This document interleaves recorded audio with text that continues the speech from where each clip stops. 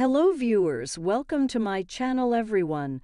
Some Gold Rush viewers believe the popular reality TV show is about to come to an end after the most recent season. Fans are wondering if the program is ending due to the absence of Rick Ness, one of its biggest performers, and situations that feel a little more scripted than usual.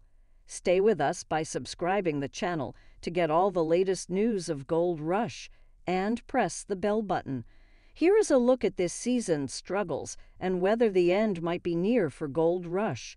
It's been difficult for Gold Rush fans this season. Parker Schnabel and Tony Beets are the two most talented miners on the show. They are so good, though, that they don't add anything novel or dramatic to the story. Rick Ness has been MIA due to depression related difficulties. All that is left are Fred Lewis and the Clayton brothers, on whom the audience is not at all keen. This has caused some fans to think the end is near on the show.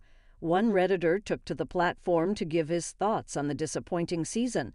In a post titled, The End is Near, I'm Afraid, they wrote that the last episode was the worst I've seen in a long time.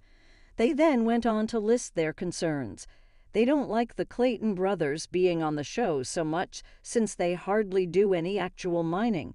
The Beets mine shows almost no mining either since it is set up so cleanly.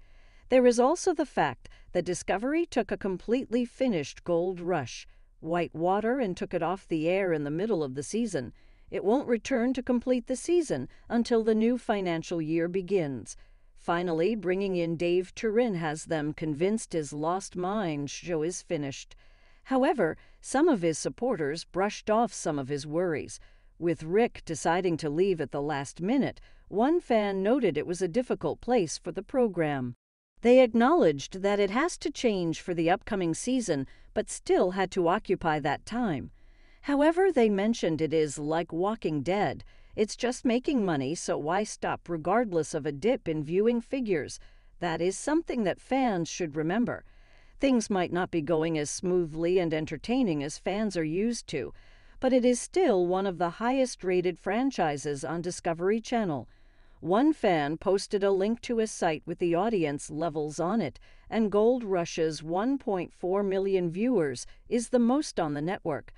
Only Naked and Afraid XL make over 1 million viewers on average. With that in mind, the word hit last week that Rick Ness will be back next season. That should help out a lot.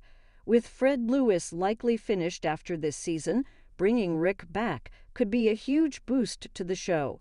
There is also the chance that Parker's new Alaskan claim could get its own spin off show, so the show seems to be doing just fine.